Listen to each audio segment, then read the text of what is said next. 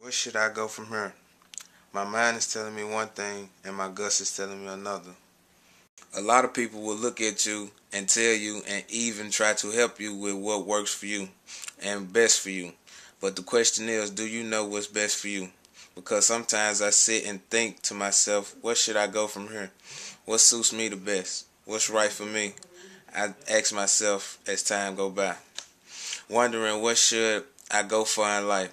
Should I try to fit in with people, learn how they do things? Should I go for being a dad? Would that work for me?